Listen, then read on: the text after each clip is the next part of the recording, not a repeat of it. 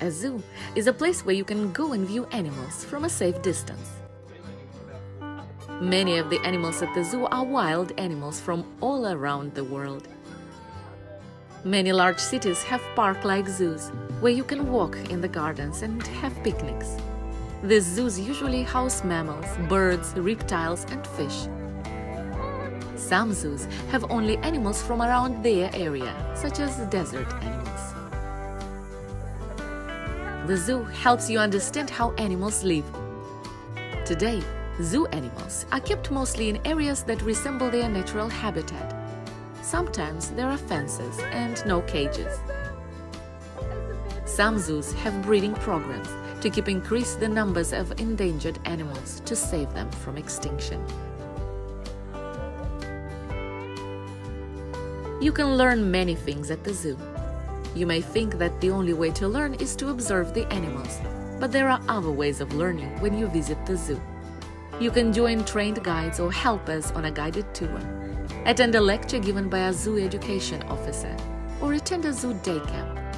You can also observe an attendant caring for animals, read zoo science, magazines, books, and pamphlets, watch a zoo video presentation, and visit a zoo website.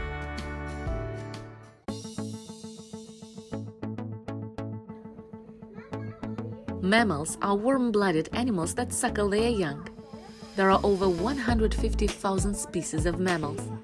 Common mammals that you can see at the zoo include elephants, giraffes, hippos, rhinos, zebras, bears, lions, tigers, and kangaroos.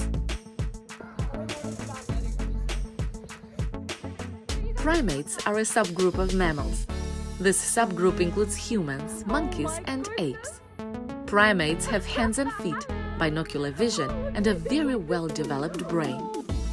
Common primates that you can see at the zoo include gorillas, chimpanzees, and orangutans, as well as smaller apes like monkeys and gibbons. Reptiles are cold-blooded animals that lay eggs. They are usually covered with scales or horny plates. Reptiles use lungs to breathe. Common reptiles that you can see in many zoos include alligators, crocodiles, turtles, tortoises, lizards, and snakes.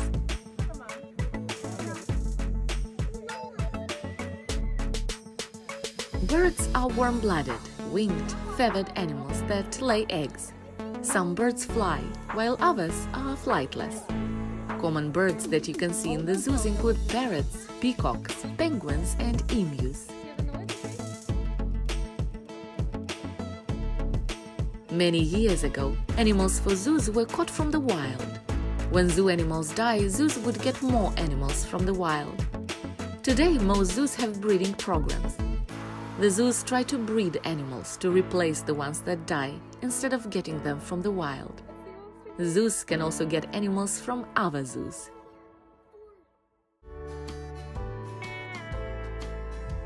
Modern zoos have enclosures instead of cages. The enclosures look like the animal's natural habitat. They may have grass and trees, logs for the animals to play on, and places for the animals to shelter and hide. Animals from the same area of the world are often found in one enclosure of the zoo. This is because they share the same type of habitat. Some enclosures are fenced. Another way of keeping animals in the enclosures is to build moats around them. Moats are also a good way of keeping animals away from other animals that might attack them.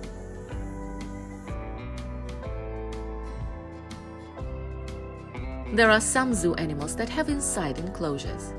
These animals may need a warm, moist environment or a cold, dry one. It is easier for zoos to regulate these particular climates inside. Zoos often have a special indoor area where you can see nocturnal animals. Nocturnal animals usually sleep through the day. They wake up at night when they hunt for food. The nocturnal houses are kept dark in the day so that the animals think it is night. Special dim lights allow visitors to see the animals. Some zoos have special sections called children's zoos, especially for very young children. In the children's zoo, young children can touch and feed some animals. They can also take time out from their zoo visit to play. Some animals are becoming very rare. Zoos actively work to keep these endangered animals from becoming extinct. One of the main ways that zoos prevent extinction of rare species is to implement breeding programs. But this is not always easy, because a male and a female of an endangered species may not mate when they are put together. For example, Auckland Zoo has a breeding program for tuatara. Tuatara are reptiles that are native to New Zealand. Due to predators and loss of habitat, they are endangered. The zoo provides a safe environment for male and female tuatara in the hope that they will breed. Young tuatara are looked after at the zoo until they are adults. Then they are put into protected areas in the wild.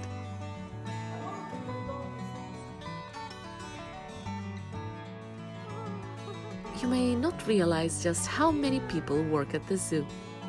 If you visit the zoo, the only people you may see are the attendants who admit you at the gate and keepers feeding animals. But there are other important people working behind the scenes. A director is in charge of a zoo. Most zoos get money from the government or local council. The director makes sure that the money is spent wisely and that the zoo runs well. A curator is often a zoologist. A zoologist is a person who has studied animals and knows a lot about them. A curator's job is to look after the animal collection. Large zoos have several curators, each one looking after a different group of animals. Keepers look after the animals. They feed the animals and clean out their living areas. Keepers also groom the animals and make sure that the veterinarian checks them regularly. Each keeper looks after a different group of animals. Most zoos have veterinarians to look after sick or injured animals. A vet also advises the zoo how to keep the animals healthy. Some zoos have more than one vet, and some big zoos also have animal nurses. A zoo dietitian checks the food each animal needs. Some animals eat fruit and vegetables, some eat meat, and some eat cereals. Other animals eat unusual foods like mice, worms, or insects. A dietitian makes sure each animal has the right food to keep it healthy. The dietitian also makes sure each animal has the correct amount of food each day.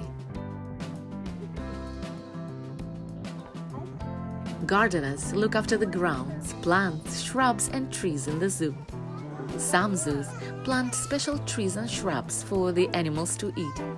An example is Taronga Park Zoo in Australia that grows eucalyptus trees for the koala. Taronga Park also sends eucalyptus leaves to zoos all over the world that keep koalas. Some of the other people who work in zoos are office managers, gatekeepers, restaurant and cafeteria staff, gift shop assistants, education staff, and many maintenance staff. When was the last time you visited the zoo in your area? Today we have come to the